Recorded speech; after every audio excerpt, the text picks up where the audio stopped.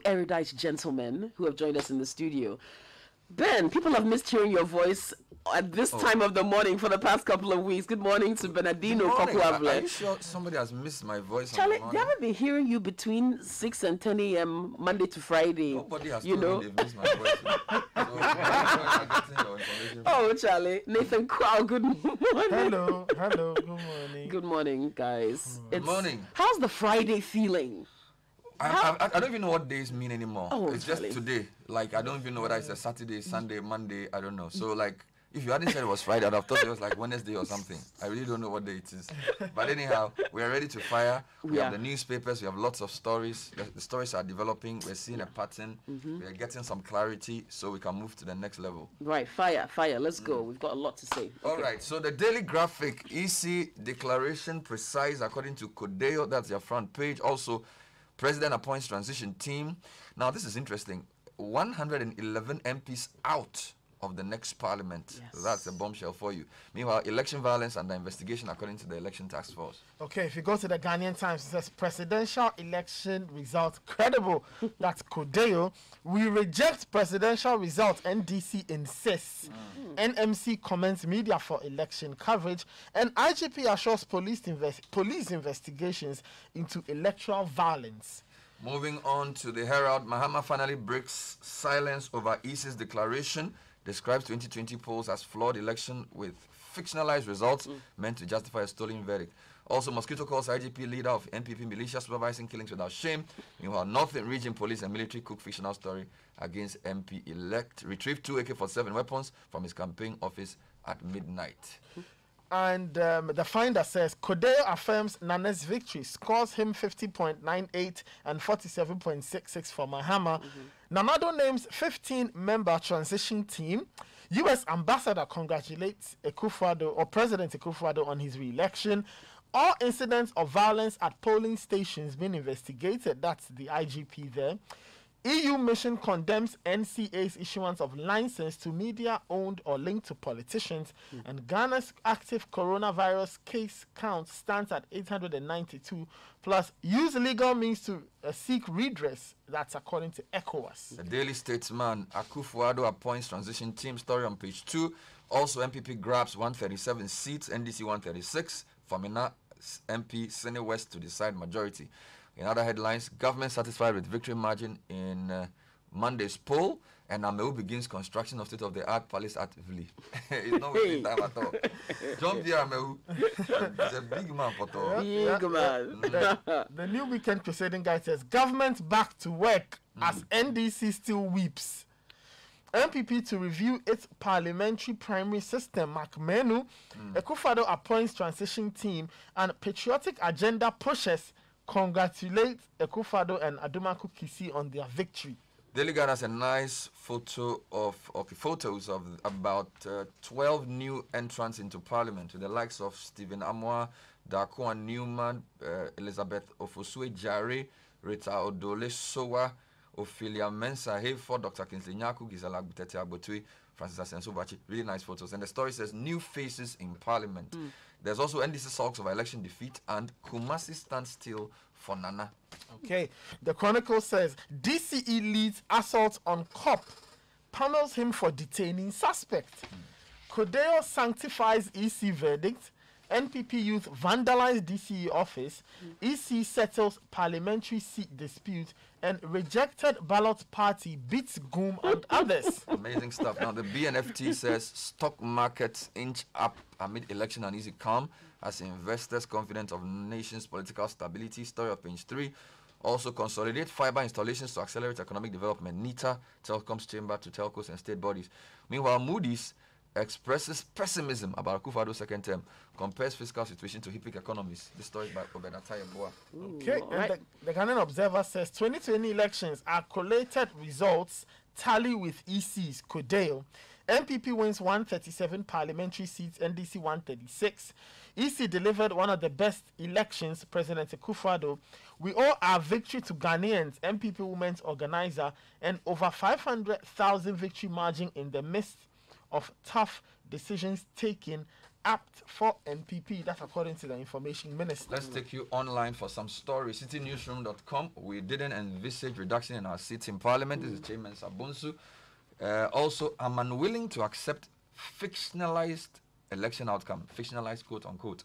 Also, Akufo-Addo appoints 15 member transition team, as we already said. And Mahama says NDC will protect constituencies under siege with crack team of lawyers and party officials. I can I can only imagine. Now, there are a few other stories I thought would interest you. Uh, this is GUM.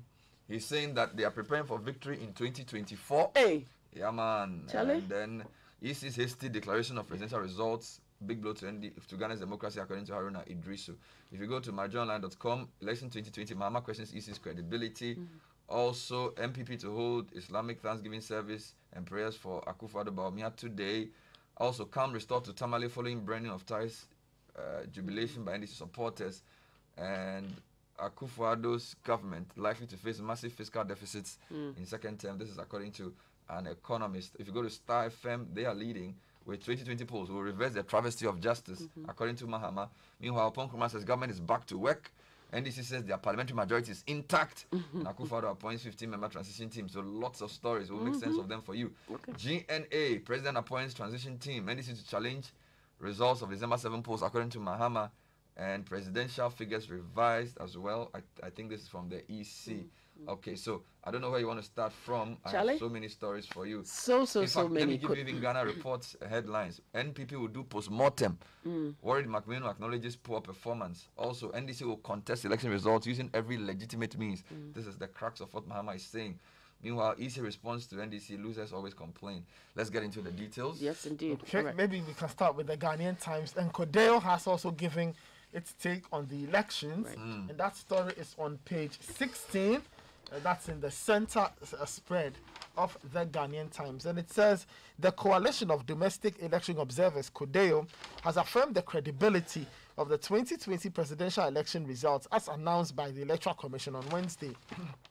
Um, it said its pre-election and election day observation reports, as well as parallel vote tabulation data, show that the results declared reflected how Ghanaians voted in the December 7 presidential polls. And there's a quote: "We encourage any party or candidate with issues about the presidential elections to peacefully resolve these through proper legal and procedural channels." End quote. It said in its statement on the official results of the 2020 presidential election. The acting chairman of CODEO, Sheikh Arimea Shaibu, who read the statement at a press conference in Accra yesterday, appealed to Ghanaians to remain calm, law abiding, and allow the systems to work. Now, so what CODEO did was to publish its um, own estimate of the percentages of Right. each candidate. So if you look at what the EC gave each candidate, CODEO's um, estimate was within specific margins of error matches. So, for example, the CODEO gives Nakufado 50.98, Right. and I think Akufo-Addo was given 51.30 by the EC. But you see, Uh, PVT estimate gives John Dramani Mahama 47.66, which is slightly higher than the 47.35. So the 50.98 is slightly lower than the 51.30 uh, Akufo-Addo was given by the AC, which is official result. John Mahama got 47.66, slightly higher than the 47.35. And then Christian Andrews got the same 0.0, 0.80. In fact, no candidate got more than 1%. No, except rejected So in fact, GUM is the only person who got anything anything close close, to one. Ivor got 0.09. Hmm.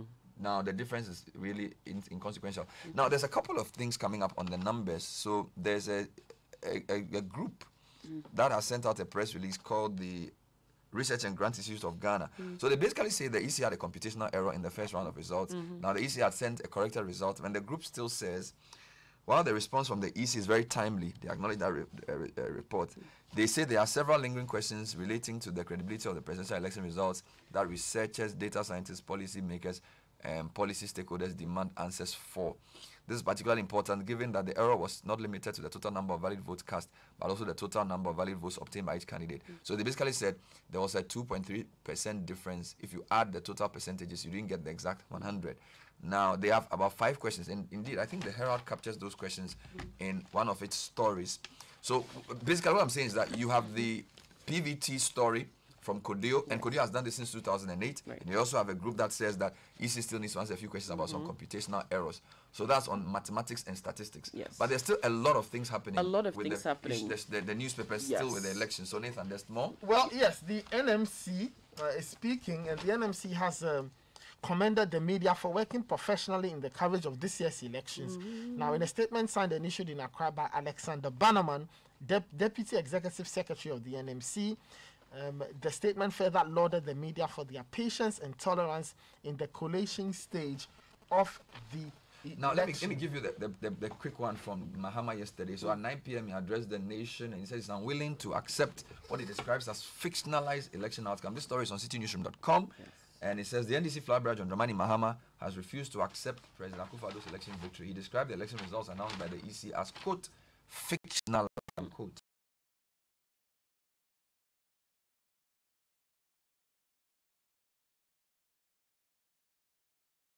On Monday, December 7, exposed a deliberate plan to manipulate and predetermine the results of the election in favor of the incumbent candidate Nana Akufo-Addo. Now, Mr. Mahama insists that his party emerged victorious in the polls after winning nine regions and quote, no amount of trickery, sleight of hand, and obfuscation will erase that reality. Um, the Herald has that. A couple of papers also have that. Daily Yes, says in, uh, NDC sulks over election defeat. So it's the same story but with a different Same slant. story, and I'm sure we're going to listen to that that uh, Well- s- uh, uh, press conference again Oh, later on in the show. And then there's the mosquito press conference too, Yes. which also has a, lo- quite- yes, a whole lot of quite things. chock full of sound bites. Yes. So a couple of things I need to point out. So Yeah. the Mahama one had more to do with the presidential result and also Mm-hmm. mentioned some things about parliament. Then there was a press conference about a lot of parliamentary issues going Yes. Mm-hmm. around. I think about four seats in contention also. right. On page three of uh, the Ghanaian Times, it says irate GUM agents invade church, destroy property. Wow. At least 300 irate agents of the Ghana Union Movement GUM on Wednesday vandalized proper- property of the party's flag bearer at his Life Assembly Worship Center Church at Odorkor in Accra Why? over non-payment of allowances. Oh, The party agents were reported to have stormed the church premises to demand unpaid money from Mr. Christian Kwabena Andrews, popularly known as Sofotra Bosom, who contested the recent presidential election on the ticket of GUM in the December 7 polls.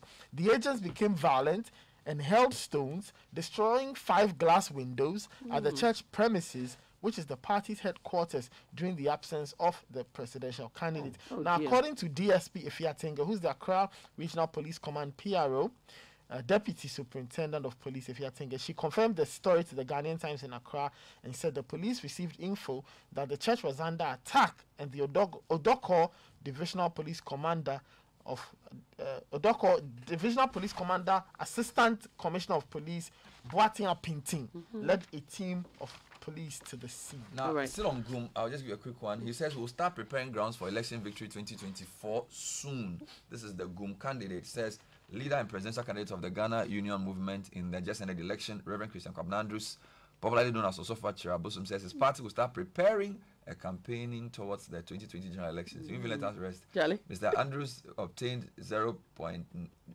0.085%, which is 105,548 votes out of the 13 million votes cast. And in an mm. interview with Citi News, Mr. Andrews admitted that his party could not win the 2020 elections due to limited time he had for campaigning. all right. There was a story about the number of MPs who are Yes. not returning to Parliament. That's big number. Graphic page 13, Yeah. if you want that, a total of, watch out for this, 111 Yes. Mm-hmm. members of the seventh parliament will not return to legislature. Don't forget, some of them went out through primaries, Right. and the rest went out through the main election. Mm-hmm. Some retired. Yes. Out of the 275 seats in the legislative house, the NPP had 169, while the NDC had 109. Mm-hmm. Okay, but the parliamentary elections last Monday saw 33 incumbent NPP MPs lose their seats, while 41 had lost their constituency primaries earlier. So NPP together had 74 going, mm-hmm. 33 through the election, 41 through primaries. Now, uh, NDC, 18 MPs lost their re-election bid in Monday's election. Eight had lost their primaries. So that's uh, and seven voluntarily retired. This means 33 NDC MPs will also not return to parliament. Now, if you put 33 to uh, gather with the uh, number for NPP, you get 111.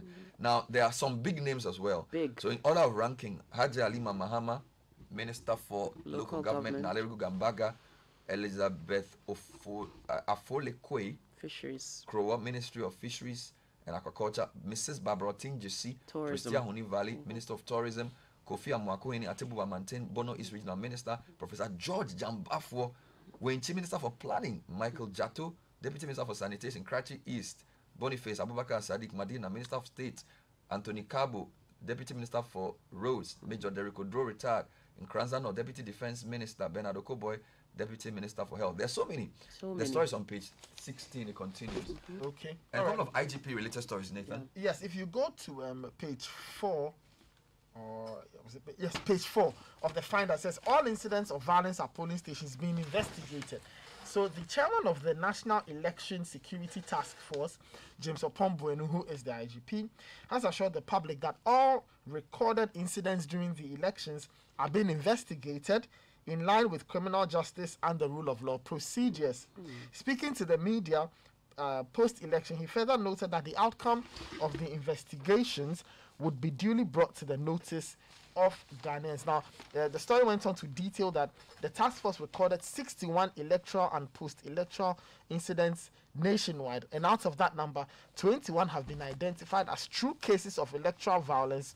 Six involved gunshots, resulting in the deaths of five persons. Right then. So out with the old and in with the new regards to Parliament. Some new exciting actually. stories. I, I like the Yes. Daily Guide uh, angle on this. New faces in Parliament. Mm-hmm. And as Kofi Edu report says, new faces will make up the eighth Parliament of the Fourth Republic of Ghana after the December 7 election saw a flurry of parliamentary seats changing hands. Okay, so they also talk about some of the new people. Um, now let me give you some. The the house will feature Mohammed Adamu Ramadan of NDC representing Adenta after dethroning Yaw Buaben Asamoa. Um, Madina Ogat Francis Xavier Sosu, lawyer defeated Boniface Sadiq. Joseph Kwesi Mensah, NDC pipped NPP's Major Richard Odro, Deputy Minister for Defense.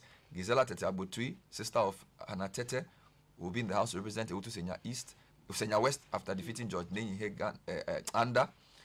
Uh, Baba Isifu, Nalerigu Gambaga replacing uh, Hajia Alima Mahama. So they choose to focus on the new replacing the old. The graphic Yes. focus on the old living. Now, just on the front page, I, I like the photo. So you have Stephen Amoah in Nhyiaeso, no surprise there, is an NPP stronghold. Darko Newman, Darko Newman, yes. NPP Okankwe South, Dr. Dixon Aduma Kukisi, NPP Anyaso Utum.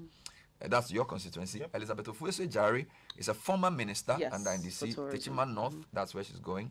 Dr. Prince Hamid Ama, he's the chief executive of the curriculum Yes. thingy. Nice. Kwesi MP Mensah. Kwesi Mintim, Western Region, former MC for Lada de Kotokpon back in Parliament, Rita Yes, Odole Odole Soa. Soa, Sheila Bartels, Battles, Yeah. NPP, Mm-hmm. uh, Ablekuma North, Yeah.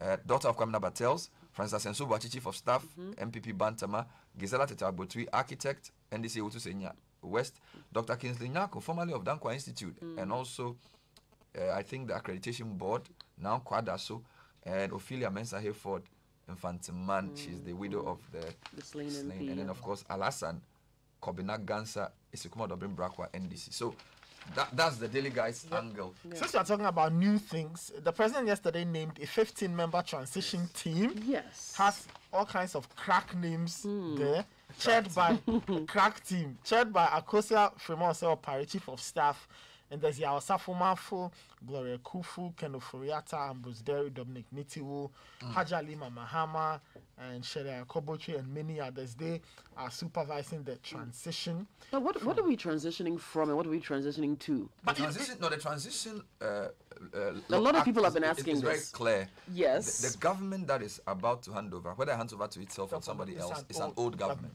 So this is the it, it has to hand over because they have to be handing over notes because we don't know if the president, even if he will maintain Those ministers. cabinet ministers, okay, we it's a don't new, know. completely Fine. new government with with new focus and everything. Now, in fact, let me give you a couple of stories around this economy. Stock markets inch up amid election uneasy calm as investors are confident of our nation's political stability. This is on page three, and it says that um, despite the uncertainty which characterized the keenly contested election. Uh, uh, the GSE has not reacted adversely, but has, as a matter of fact, recorded some marginal gains. The B&FT can confirm. On Tuesday, the first trading session of the week, the stock market recorded gains with the Ghana Stock Exchange Composite Index, which measures the movement of all listed equities, appreciating by 1.54% day on day, consequently reducing its year to date loss to 18.1%. And then they give other indices. Uh, although still on the market, Moody's is expressing pessimism over Akufo's second term in relation to fiscal situation and says that credit rating firm Moody's has stressed that uh, Akufo-Addo will continue to face major challenges that will curtail the country's credit worthiness etc., etc.